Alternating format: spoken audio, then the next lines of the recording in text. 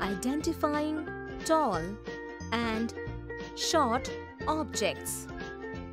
Hello children, I'm the parrot and I welcome you to this lesson.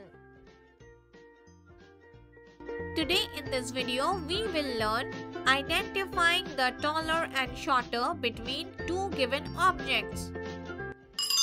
Today is a holiday for Chotu and Pinky. They have come to the zoo with their mother. They saw several animals there. First of all, they saw some elephants. Mummy, look how tall this elephant is. Very tall. And how short is this elephant, Pinky? It seems that this shorter elephant is the child of this taller elephant. Yes, children, you are right. This elephant is taller and this elephant is shorter. After this, Chotu, Pinky and their mother saw some giraffes.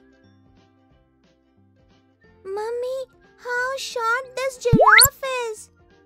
And this giraffe is taller than this one. Yes, children, out of these two giraffes, this is shorter and this one is taller. So children, did you see how Chotu and Pinky identified the taller elephant, the shorter elephant and the taller giraffe and the shorter giraffe? So can you tell me which of these two trees is taller and which one is shorter tree?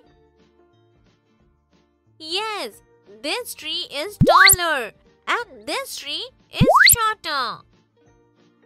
And out of these two ladders, this ladder is taller and this ladder is shorter. So children, I hope that you enjoyed identifying and comparing taller and shorter objects.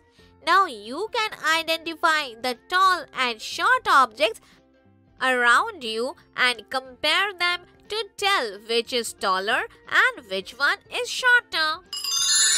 That's all for today children. In this video, we learn to identify taller and shorter objects between two objects. In the next video, we will see some interesting examples of identifying the tallest and shortest of three objects. Till then, bye children.